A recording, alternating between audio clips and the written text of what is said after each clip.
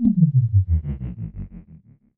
Con la Escuela Flamenca y Escultura de Paco de Lucía, Playa del Carmen rinde homenaje al guitarrista, quien vivió gran parte de su vida en esta ciudad y murió en este importante destino en el 2014. Así lo anunció la presidenta municipal Lili Campos Miranda. Esto dijo como parte de una firma de hermanamiento con Algeciras, España, en su reciente participación en la Feria de Turismo Fitur 2024, acción que el municipio ibérico tenía buscando ocho años por el cariño que Paco de Lucía le tenía a Playa del Carmen y por la importancia que tiene el músico español para ellos. Para ellos representa mucho esta, este hermanamiento.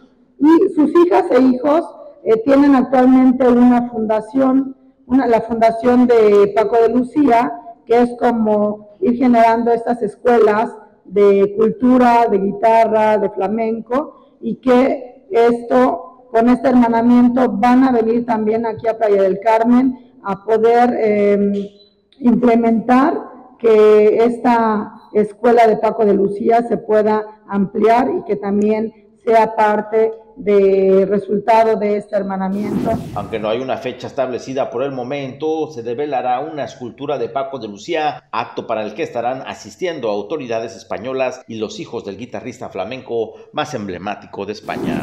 Vamos a organizar fecha para develar una escultura en homenaje a Paco de Lucía, vendrían los hijos, vendría el alcalde de, Algeciras, como también vendría este, la titular diputada de, como la presidenta de los diputados allá. Entonces, también ella estaría viniendo. Y hay una artista que le llama, que se llama, eh, o que le dicen mejor Argentina, así la conocen. Ella fomenta también lo que es el flamenco, la guitarra y toda esa parte.